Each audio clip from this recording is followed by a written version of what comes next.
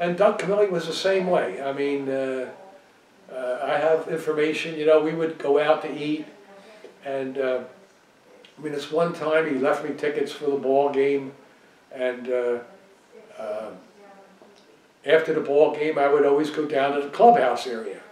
I'd wait till him come out and we'd go out, I'd go to my car and we'd go out to eat somewhere and then shoot the breeze and drink. Uh, beer, we usually drank beer at the time, you know, and uh, um, he's not coming out. I said, what the hell's going on? I must have missed him. Finally, he comes out, and uh, almost everybody's gone out of the clubhouse, all the ball players. He says, Walt, come on in the clubhouse. So I go into the clubhouse. He says, it was Sandy Koufax is hit Ira here sitting, because Sandy won't go out until all the guys are gone and all the people are gone because he says he gets surrounded by these people and he can't get away from them. And he says, it's a pain in the neck. He said, he says, so he said he waits until everybody leaves, then he leaves and he can sneak out. So uh, was Doug, myself, and Sandy leave in my car. We get in my car, and wow, and I got this all written down, but I want to talk to you about it. It's more fun talking about it. He, they're talking about Sandy's troubles. So this was like June in um, 53, 50, 54. I got it written down. It's like 54 or something.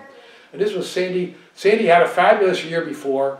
He was having trouble with his elbow or something in here in spring training. And then beginning of the season, he was terrible.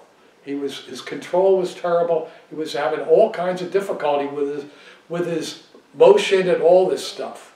Well, I'm sitting in a car driving to the hotel, and here's a catcher and a pitcher talking about what? Pitching. And they were, he was in, he was in the bullpen that day working out because he was going to pitch the next day. You always do that a day before.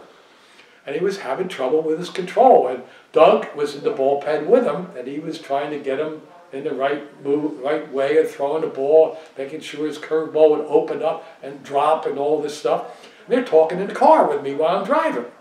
So it was like maybe a 30 minute drive to the hotel.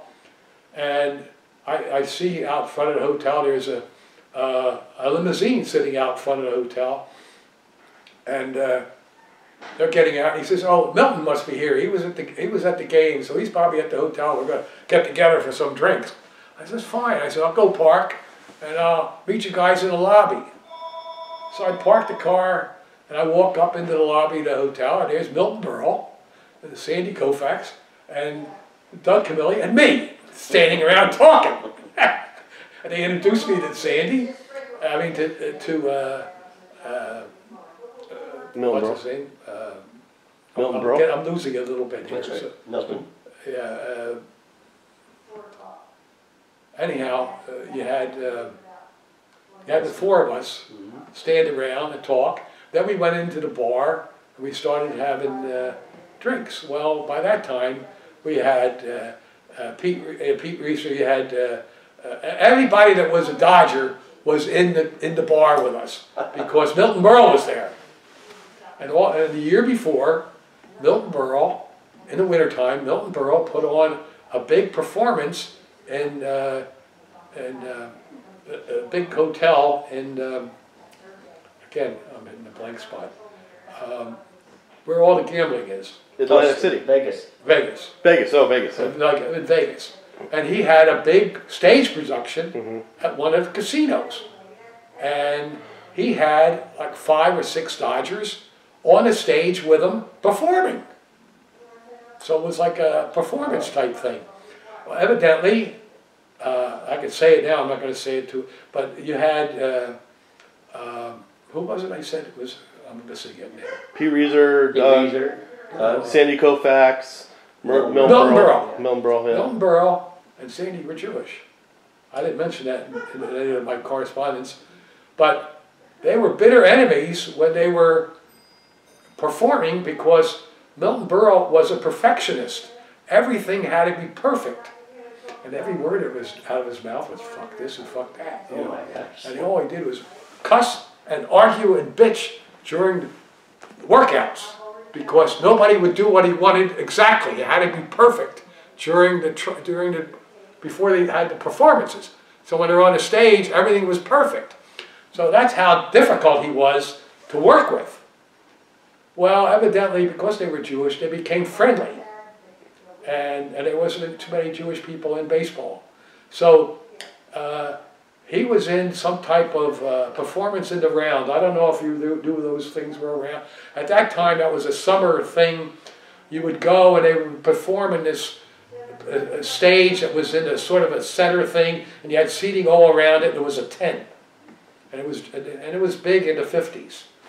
And, and Milton Berle was doing something in New York.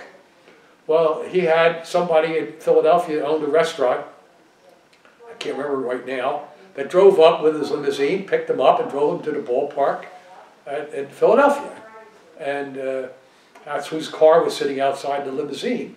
Well, when we were sitting there, all they talked about was all the chicks and all the parties and all the stuff in Hollywood. I mean, how about this one? How about that one? Did you date this one? Did you date? I mean, that's all I heard about while I was there. And I'm sort of sitting listening to all this stuff. I mean, it was amazing to hear all this stuff going on. And I'm a foreigner sitting in that place. And, uh, and it was interesting to see, you know, the camaraderie of, of everybody and, and the difference in the sports between being in, in sort of a highlight of, uh, uh, of uh, movies and all this stuff. But baseball I was playing, nobody was looking at any baseball player for any of that stuff. That was, no one even cared about a baseball player in those days, unless you were named Ted Williams or, or you know, Joe DiMaggio or or you came from New York, or you came from uh, Boston or something, or Chicago. And uh, so, I mean, it was totally different when you looked at the ball players at the time. We're, we're, um, cause you said everything was just nothing lower than DC, Washington DC, nothing past St. Louis. Were there players in the minors from outside those areas? Oh, yeah, we had people Okay. in California. Yeah. They played minor league balls in California. You had minor league. Uh, oh, you had teams out here. You had you had a lot of minor league uh, leagues here in California, Okay. in Southern and Northern California, that and, and people would have winter leagues out here at the time. That they were prof- a lot of them were professional minor league players. Even major league players would play winter ball in California. Oh, wow. So you had a lot of that in California in those days, and I was only told about it because I didn't live here at the time.